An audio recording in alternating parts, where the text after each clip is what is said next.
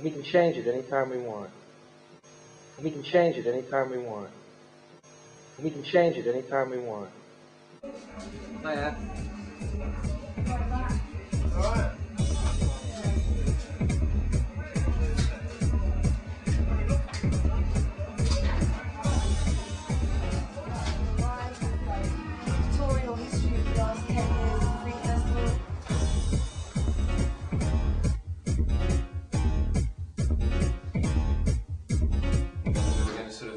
This into a kind of street theatre space. We're going to do a parody of corporate um, bank sort of uh, thing. What's the difference between the cooperative bank and the other major banks?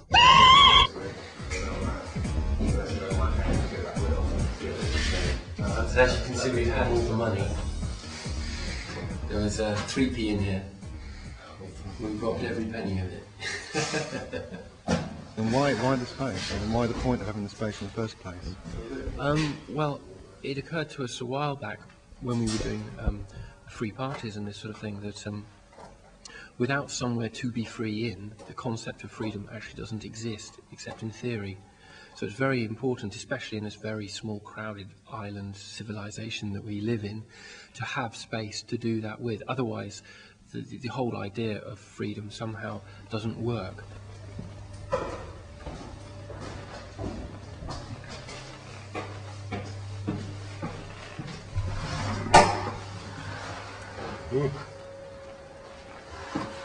So, um, yeah, downstairs, I think that's all cleaned out now. Oh, we need to get this filing cabinet up. Oh, yeah. Which is a bit of a chore, but there's a few of us here now, so.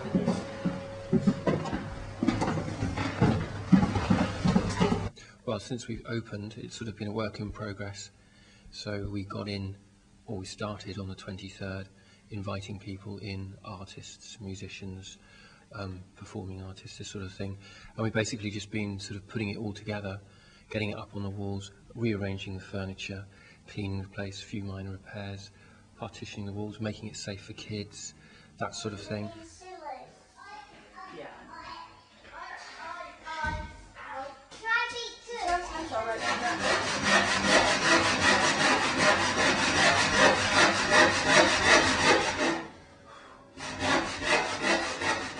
whole point of this space is that it's not just a mashup. Um, we've tried to make space available for musicians, DJs, live performers, and around that um, to have a space for um, um, artwork, sculpture, sculptures, but also sort of live things going on, workshops, talks, this sort of thing. Just a creative, positive space where anyone who comes up with a good idea or suggestion um, hopefully um, can have some time and space to do that in.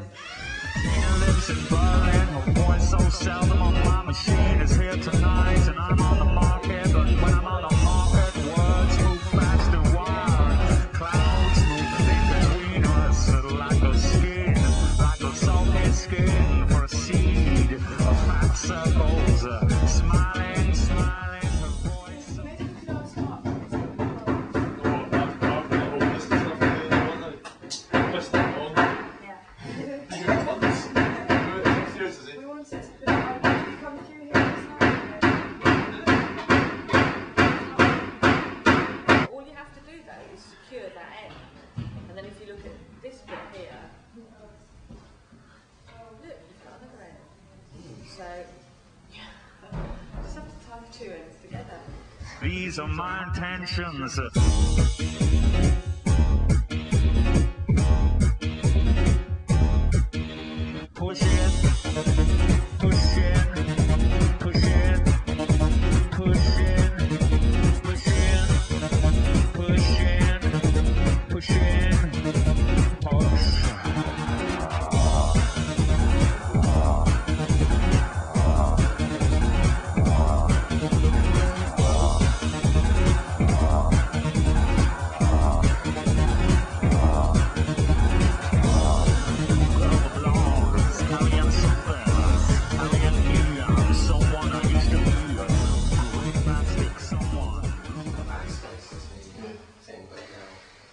I think serves for much better purposes as cinema.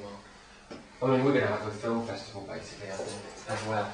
to that back space. Because I think, I think there's going to be more than enough films for that. Exactly. So what are you doing here? You're doing lots of stuff in the kids' space, yeah? Yeah, I've got a kids' uh, space ready. Over the weekends, done forum theatre workshops, um, just arts and crafts stuff. We're hoping to get uh, like big sculpture group together. today. And then yesterday did a talk about alternative education. And um, why a kids' space well? Why create a kids' space within the community? Because children are part of the com- community, and you know they, they this is space for them as well. There should be things here for them. It's a sport and it's in a bank. Is that relevant at all? I think it's nice that it's in a bank. It's a good venue. Um, yeah, it's quite comical. Yeah, that we've robbed the bank. I like that whole idea, and it's great having these vaults and stuff. Nice building. That's my old bank. Yeah. So it's quite nice to come and do this in here. These are my intentions. I think that we wanted to use a lot of the artwork, so it's it's somewhere where the public can come in and look around. So it's going to be visually stimulating, and a lot of the artwork is based on sort of information about environmental and social issues. So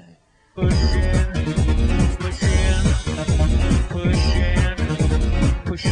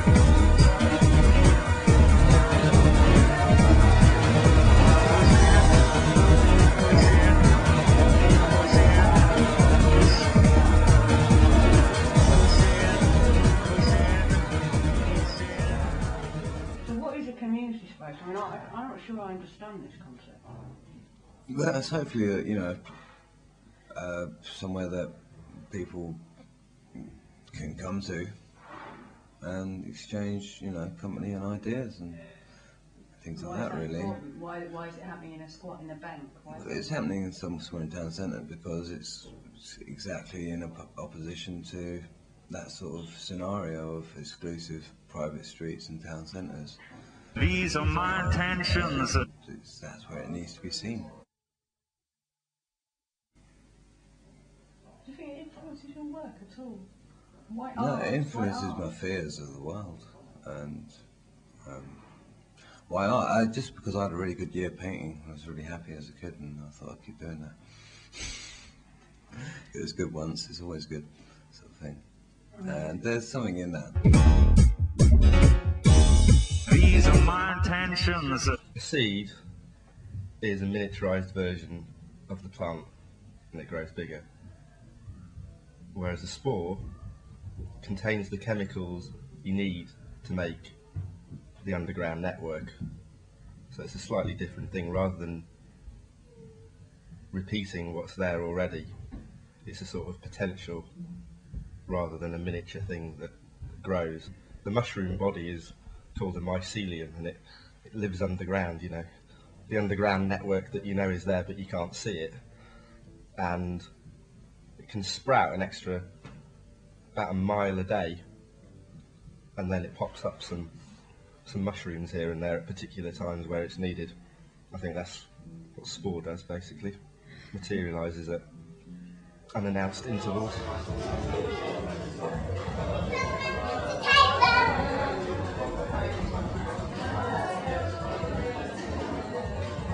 The sort of resistance stuff and direct action, but various of us are into as well. That's the sort of two two aspects to that as well. The the resistance to the rubbish that's going on at the moment that's destroying people's lives and so forth, and then there's the creating sustainable alternatives to that, and you have to have both of them at the same time. Something that Mark and I have talked about a lot in the last year or so is that what is most lacking is inspiration, basically. And if you can put a little bit of that in, I think you can do that in any medium at all, from conversation to music to film to walking down the street to, you know, whatever.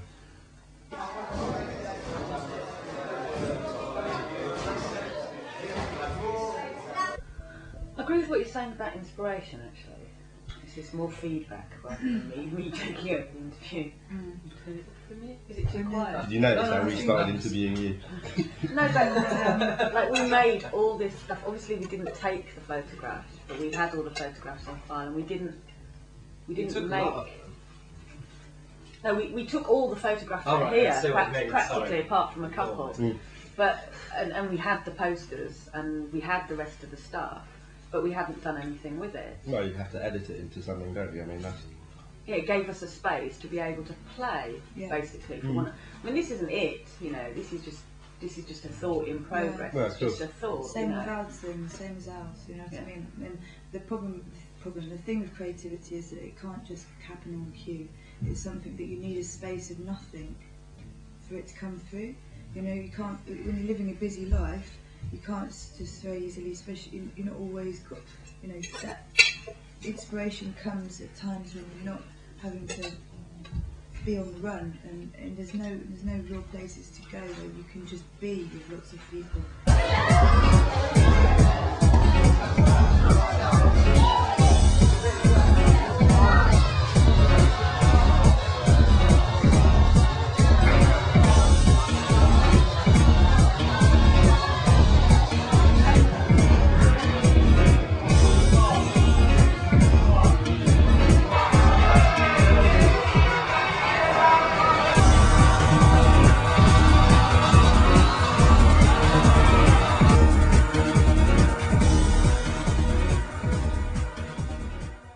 So you brought some of your work down here. Yeah, yeah, uh, yeah. It's only my second exhibition ever, so it's a good opportunity to come and exhibit my work. Well, they never turn out the same as I think of them. They, they the always middle, change. They always develop as they go along. Um, it varies. Yeah, they're like yeah, they vary in different ways they grow, like plants and mushrooms. Why squatting? Why bank? And Yeah. Why with art? You know. But it's kind of go a step beyond capitalism and get into doing things for free, get into doing things for the sake of, uh, of a, a vibe, a feeling, and ni- nice things going on. Like this is all to do with trying to raise people's awareness about the environment as well. With the art as well, it makes it more than it's not one any one thing, and it's Do you think it's been particularly challenging because you can fight wars all different ways, can't you? Like you can fight them with guns. We're kind of fighting them with pictures, which is an, it's like an old way to like wage a battle, isn't it? I mean, I, I think it's Yeah. the right way as it goes, but if you go around uh, all the streets, all the um, they they've totally taken over everything. Everything's covered with logos and adverts for things, and it's all totally to do with materialism. As soon as you walk in here, you see like pictures of cars portrayed not as like something you should be striving to get, but something you should be striving to do without.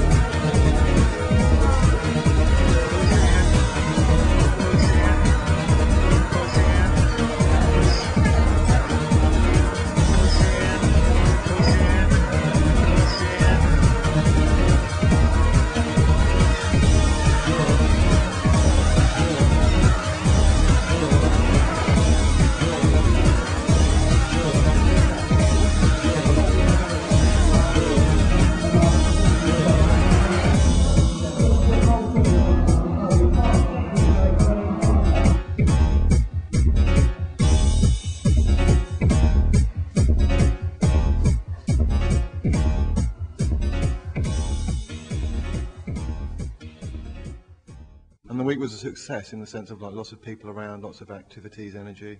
It was fantastic. Yeah, I mean, uh, we're all amazed by the response. I think we thought it'd be a lot lower key because that's the way we played it. We opened on a Tuesday and wanted a kind of gentle take-off towards the weekend. Um, but from the word go, and I, and I think it had a lot to do with having it open during the day as a kids space because that really got the energy right and balanced for a lot of people.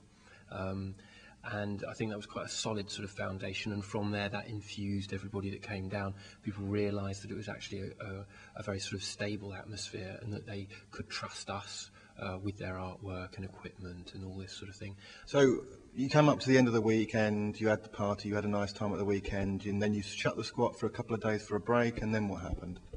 Um, then we got um, some uh, court papers stuck to the front door, um, which um, were summoning us to court the very next morning. Um, we've got some friends who have um, a certain amount of um, legal knowledge who pointed out to us that it's a minimum uh, required in British law of 48 hours um, between a summons and your actual court appearance. And you didn't have 48 hours? No. Uh, the, the, the court um, case was set for uh, 10 a.m. the next morning. Before the court, um, there, there, there, there was uh, no evidence at all. We thought we'd just go along and just ask the judge politely and point out that we hadn't actually had our, our, our legal time um, in which we could actually seek professional legal um, uh, assistance or get any kind of case together.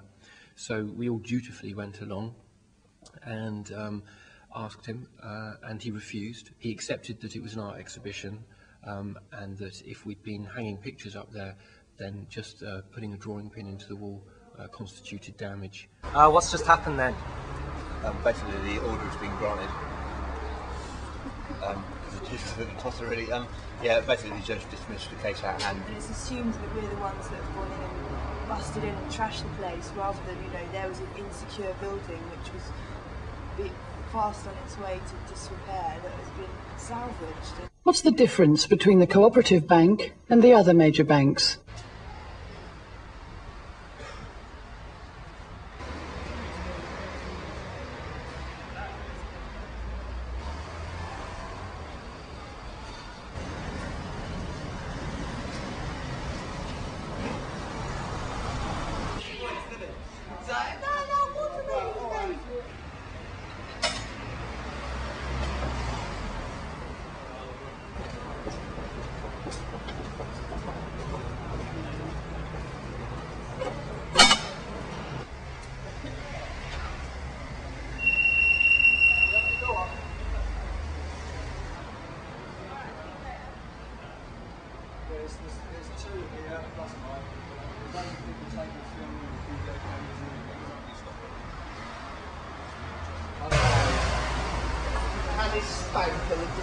If you hadn't been evicted, what would you have done with the space? Um, I think we would have continued uh, along this line, seeing as, as, as the formula has worked so well. Um, what we have already done is um, we've sort of formalised it slightly, purely so that we can um, uh, make it easier to maintain and to run. Um, we're forming ourselves into um, an unincorporated association, uh, which means that we can get a lot more people involved and hopefully between ourselves we can all hold uh, um, responsible positions and actually help with the maintenance of this space or, or any space really but the idea is the same that we provide free community space for people to come down um, and experiment with. These are my intentions. Push it, push it, push it,